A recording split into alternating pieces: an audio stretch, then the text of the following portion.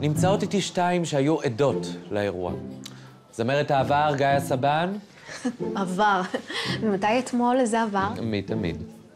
אוקיי, אז כן, אני פרשתי כדי לפגוש את עצמי בדרכים חדשות ואמיתיות. אבל נועה התחננה ו... והדבר החם הבא, ליאב צ'ירולי. ליאב, אפשר לומר שממש גנבת את ההצגה. זאת אומרת, לא גנב במובן של גנב, לא. הכל טוב, ממי. בטוח לא רוצה להסתבר. אוקיי, אה, אז אה, תספרי לנו מאיפה באת אלינו. תעשה אשקל לנווה תרצה. אה, אוקיי, בסדר. ומה התוכניות לעתיד? וואלה, נראה לי דאבל צ'יזבורגר למה אני מורעבת. היי, שוב גיא סבן. רק רציתי לציין שזה ממש צירוף מקרים קסום שמישהו כלא את נועה במחסן בדיוק בזמן שאישיות חשודה שרק יצאה מהכלא נכחה בצילומי הקליפ. מה זה? כן, גיא, כמו שאתה רואה, סוער כאן על סט צילומי הקליפ של נועה קירל, ואני מחזיר את השידור אליך. Back מישראל.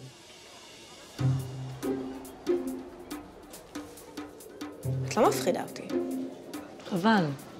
בשבילך אני אומרת. הוא תמים, בן. אבל אני לא. אל תנצלי אותו. מה יש לך ממנו? לי? ממנו כלום. אנחנו משפחה.